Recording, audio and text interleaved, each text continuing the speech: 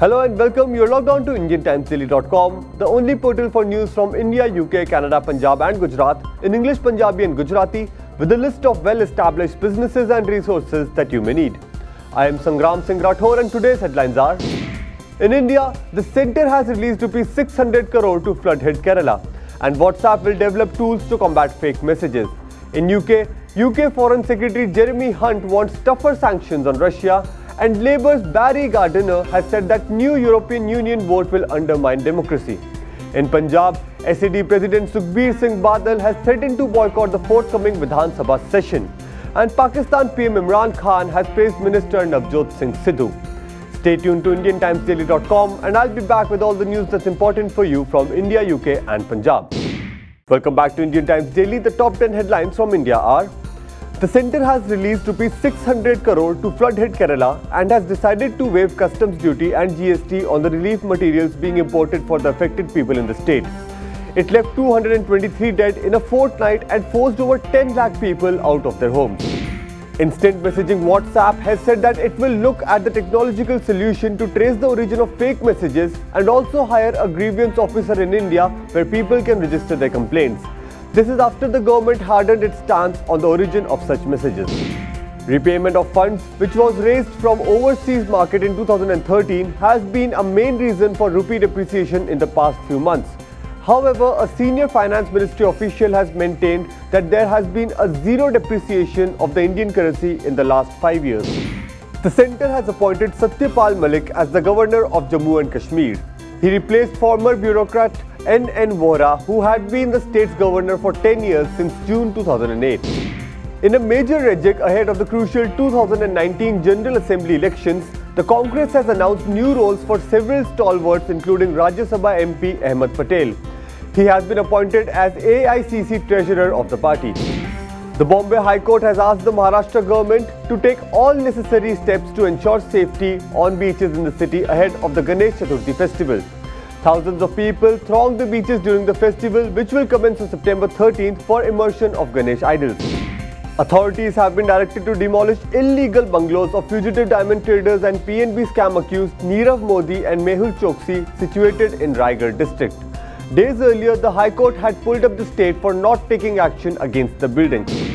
An Indian Army soldier has been injured in a ceasefire violation by the Pakistani Army on the LOC in Jammu and Kashmir. The violation took place in Kupwara district's Tangdhar sector. Debutant teenager Saurabh Chaudhary has clinched India's first shooting gold of the 18th Asian Games in the men's 10-meter air pistol event. He shot a game's record score of 240.7 in an exciting final to add a goal to India's shooting tally of two silver and a bronze this Asian. Actor Sunny Deol says that he is interested in making a biopic on his father and iconic actor Dharmendra. He, however, stated that he would need a good writer and director to weave the story of the veteran's life in an interesting manner. Stay tuned to Indian Times Daily as the news from UK and Punjab follows. Welcome back to Indian Times Daily. The top 10 headlines from UK are Foreign Secretary Jeremy Hunt will demand tougher sanctions on Russia during his visit to the US later this week. Hunt said that Europe should impose further sanctions on Russia in response to his malign behavior around the world. Shadow Minister Barry Gardiner has said that holding another referendum on UK's European Union membership can lead to civil disobedience. The statement came after rumours that another European Union vote must be conducted in UK. 18 members of UK's Windrush generation who could have been wrongfully detained will now receive a formal apology from the government. The announcement was made by Home Secretary Sajid Javid. Labour MP Chris Williamson has rejected claims that he is using a tour of Labour constituencies to push for the removal of critics of party leader Jeremy Corbyn. Williamson said that the Democracy Roadshow is an attempt to engage with activists rather than ousting MPs. International Trade Secretary Liam Fox has said that Britain can be a 21st century exporting superpower. Last year, exports of goods and services rose to a record high of 620 billion pounds. A group representing hospitals in England has warned that the government lacks a contingency plan to deal with the impact of a no-deal Brexit on health service. The group said that leaving European Union without an agreement will be a real risk to health services. Former Chief Inspector Sir Norman Bettison, who is accused of trying to blame Liverpool fans of the 1989 Hillsborough disaster, has been acquitted of all charges. Bettison was facing four counts of misconduct in public office.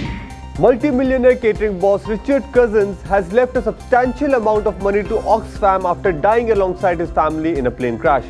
Cousins left around 41 million pounds to the charity after he was killed with his fiancée, her daughter and his two sons on New Year's Eve last year.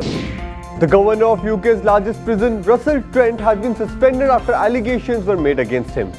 Trent has been removed from his duties. The NHS can start offering a new steam treatment for benign prostate enlargement, says the regulator, the National Institute for Health and Care Excellence. The procedure is minimally invasive and can be done under local anesthetic without an overnight hospital stay. I'll be back. Still logged on to IndianTimesDaily.com as the news from Punjab follows. Welcome back to Indian Times Daily. The top 10 headlines from Punjab are SAD President Sukhbir Singh Badal has alleged that both the Congress and Aam Aadmi Party have ganged up to defame SAD by blaming it for sacrilege incidents. He said that the party will soon take a call on whether to attend the forthcoming Vidhan Sabha session or not. Pakistan PM Imran Khan has come to the rescue of cricketer turned politician Navjot Singh Sidhu, who struck controversy after hugging Pakistan Army chief in Islamabad. Khan has termed Sidhu as an ambassador of peace between India and Pakistan. Himmat Singh, brother of Akal Takht head Granthi Gyani Gurmukh Singh, has retraced the statement that he had given earlier to the Justice Ranjit Singh Commission. Himmat said that he had been forced to testify against the Badals. State Congress President Sunil Jakhar has asked the BJP-led NDA government to clarify its stand on the Kartarpur corridor, a long-pending demand of the Sikh community. He claimed that External Affairs Ministry should take up the matter with Pakistan at the diplomatic level. DSGMC President Manjeet Singh has faced a protest in the US against desecration incidents and Bargari deaths. Manjeet is currently on a visit to a Gurdwara in the US. It was staged under the banner of the Sikh Coordination Committee East Coast. The state is all set to hold a debate in the upcoming Vidhan Sabha session on the findings of the Justice Ranjit Singh Commission report. The focus will be on the incidents of sacrilege and police action at Kotkapura and Behbal Kalan in 2015. The Bhakra Beas Management Board has saved a sizable volume of water to deal with the crisis resulting from severely depleted storage in dams. The steps to save water have been taken even as power generation at the Bhakra Dam took a hit. The CBI has issued summons to Firozpur Range IGP Gurinder Singh Dhillon asking him to join the investigation into a rupees 5 lakh bribe case. Summons have been sent for the second time after they returned undelivered the first time. The state has inked a deal to facilitate coal supply to PSPCL at much cheaper rates. This will save around rupees 800 crore annually. Kangar also distributed appointment letters to 622 assistant linemen at a function. An oasis of trees and plants is being developed by US-based environment organization EcoSikh on 5 acres at Patto Hira Singh village. The garden is named Guru Nanak Bagh to commemorate the 550th birth anniversary of Guru Nanak which is being celebrated worldwide in 2019. This is the end of the news bulletin, but stay tuned to IndianTimesDaily.com as news from Bollywood is coming up next. And do visit the resources section on this portal to find the best Indo-UK businesses and resources from accounting firms to wedding planners in your city. All of us at Indian Times Daily wish that you have a great day. ਸਤਿ ਸ਼੍ਰੀ ਅਕਾਲ this is Harish Verma ਟੁੱਟੇਗੀ ਤਾਂ ਜੁੜਨੀ ਨਹੀਂ ਤੂੰ ਇੱਕ ਵਾਰੀ ਹੋਰ ਸੋਚ ਲੈ I wish you all a very happy Independence Day. Keep watching Indian Times Daily.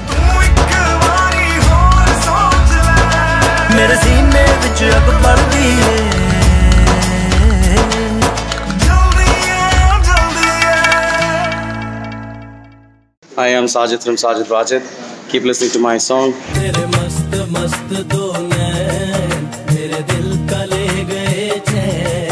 Wish you a 15th August to all my friends and family staying abroad. And this is Indian Times Daily. So keep watching and keep hearing it daily. See you guys. Take care.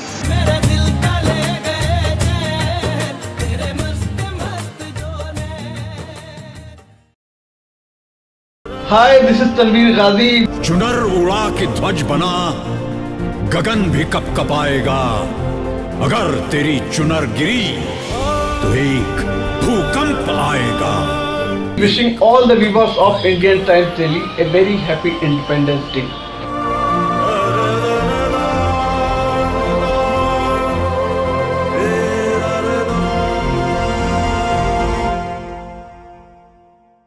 Hi, this is Nikhil Paul George.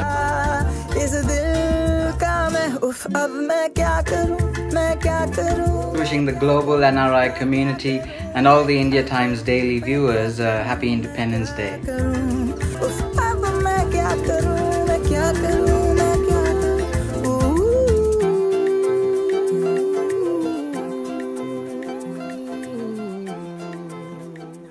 Namaste, viewers of Indian Times Daily. This is Prashant Bharadwaj, Associate Dean at Indiana University of Pennsylvania's Eberly College of Business, on vacation.